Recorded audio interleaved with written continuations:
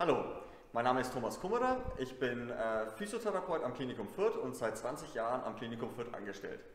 Ab heute möchte ich euch einmal wöchentlich mit einer kurzen Videosequenz versorgen. Diese beinhaltet jeweils ca. vier Übungen, welche ihr im Alltag ganz leicht umsetzen könnt, ohne großartige Hilfsmittel. Und besonderes Augenmerk lege ich bei den Übungen ähm, auf die aus physiotherapeutischer Sicht gesehene korrekte Ausführung. Und deshalb erkläre ich euch die Übungen auch bis ins kleinste Detail, dass ihr sie auch zu Hause korrekt ausführen könnt. Die heutigen Übungen, äh, die ich mit euch machen möchte, beziehen sich auf die Ganzkörperstabilität. Als, äh, als Utensil braucht ihr eigentlich für die heutige Übung nichts weiter als einen einfachen Bürostuhl. Und zwar stellt ihr euch den einfach mal so bereit, dass die, dass die Sitzfläche ganz normal nach vorne zeigt. Ihr geht erstmal in den Handstütz und stellt einen Fuß nach dem anderen auf die Sitzfläche vom Bürostuhl. Bei der, bei der, Hand, äh, bei der Handflächenstellung schaut ihr bitte drauf, dass ihr jeweils die Handfläche unter dem Schultergelenk ist und die Zehenspitzen aufgestellt. Ihr schaut bitte auch darauf, dass der Bauch fest ist, der Po angespannt und vor allem, dass das Becken nicht durchhängt. Deshalb müsst ihr den Bauch fest anspannen. Genau. Jetzt versucht ihr, die Knie nach vorne zu ziehen und achtet bitte darauf, dass ihr nicht nach links oder nach rechts ausweicht, sondern dass es einheitlich die Knie nach vorne gehen und wieder ausstrecken.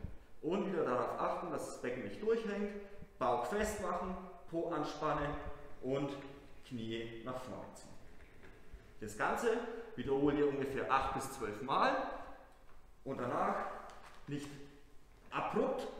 runtersacken lassen, sondern ein Fuß nach dem anderen abstellen. Genau. Die nächste Übung ist wahrscheinlich vielen bekannt, bei einigen wahrscheinlich auch etwas unbeliebt, aber aufgrund der Effektivität möchte ich sie trotzdem mit ins Programm mit aufnehmen. Und zwar ist es der Plank bzw. der Ellbogen-Unterarmstütz. Bei der Ausübung, bei der Ausführung her, achtet ihr bitte darauf, dass der Ellbogen senkrecht unter dem Schultergelenk steht und die Unterarme schulterbreit dem, auf dem Boden abgelegt werden. Ihr stellt die Zehenspitzen auf, Handflächen ganz entspannt am Boden ablegen und ihr achtet bitte darauf, auch hier wieder, dass das Becken nicht Richtung Boden nach unten sackt. Ihr spannt euren Bauch fest an, Po festmachen und der Kopf in Verlängerung zur Halswirbelsäule gerade halten. Genau, diese Übung ändere ich jetzt noch etwas ab, also dass es keine rein statische Übung ist, sondern auch etwas Aktivität reinkommt. Und zwar möchte ich, dass ihr euch mit der Handfläche immer abwechselnd aufstützt und wieder runter in den, in den Plank geht, in den Unterarmstütz. Und hoch und ab. Und das Ganze auch 8 bis 12 Mal wiederholen. Und jedes Mal, wenn ihr unten, unten am, am Plank seid, im Unterarmstütz, wieder darauf achten, dass das Becken nicht nach unten durchsackt. Genau. Die nächste Übung, die ich euch äh, jetzt zeige, bezieht sich ähm, auf die Beckenselektivität bzw. auch auf die Mobilität von der Wirbelsäule. Und zwar Ausgangsposition ist erstmal die Rückenlage. Ihr legt die Hände bzw. die Arme ganz entspannt neben dem Rumpf ab. Kopf wird abgelegt, Beine bzw. Füße stellt ihr ziemlich nah ans Gesäß an. Und zwar, ihr startet mit dem Becken und zwar versucht ihr, um das Ganze mal äh, ähm, zu veranschaulichen, versucht ihr das Schambein Richtung Nasenspitze zu ziehen. Damit startet ihr. Ihr zieht das Becken nach oben, Schambein Richtung Nasenspitze und versucht langsam Wirbel für Wirbel nach oben in die Brücke zu kommen. Oben angekommen, versucht ihr den Po fest anzuspannen, oben ungefähr äh, ca. 5 bis 10 Sekunden verharren und dann langsam Wirbel für Wirbel wieder nach unten und ganz zum Schluss das Becken wieder zurückkippen. Das Ganze könnt ihr noch etwas erschweren, indem ihr die Unterstützungsfläche verkleinert. Und zwar verschränkt ihr die Arme auf den Brustkorb damit habt ihr eine kleinere Unterstützungsfläche und somit müsst ihr schon wieder mehr stabilisieren.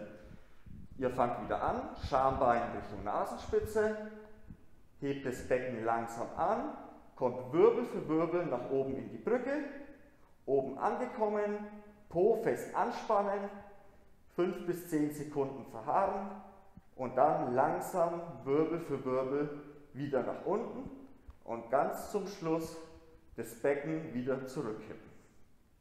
Jawohl. Die nächste Übung, die ich euch zeige, ist von der Ausgangsposition ähnlich wie die vorhergehenden Übungen. Ihr geht ganz normal in die Rückenlage, Handflächen legt ihr neben eurem Rumpf ab, Füße bzw. Knie sind angestellt. Ihr startet wieder mit der Übung mit Schambein Richtung Nasenspitze ziehen, kippt das Becken, Schambein Richtung Nasenspitze, geht mit dem Becken langsam nach oben, Wirbel für Wirbel nach oben in die Brücke, dann hebt ihr einen Arm nach dem anderen ab, Fingerspitzen zeigen Richtung Decke, Handflächen zeigen zueinander und ihr beginnt mit schnellen, kurzen Hackbewegungen. Bitte darauf achten, dass die Hackbewegungen nicht aus dem Ellbogen oder aus dem äh, Handgelenk kommen. Handgelenk, Ellbogengelenk bleibt steif und ihr macht die schnellen, kurzen Hackbewegungen nur aus dem Schultergelenk heraus. Auch bitte darauf achten, dass das Becken fest ist, Po ist angespannt, Bauch ist angespannt, dass die Wirbelsäule, äh, Wirbelsäule stabil ist und 10 bis 15 Sekunden schnelle, kurze Hackbewegungen aus dem Schultergelenk heraus.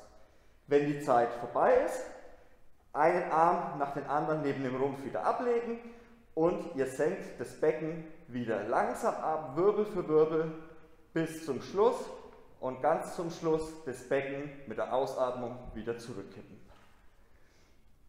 Ich wünsche euch ganz viel Spaß beim Nachmachen.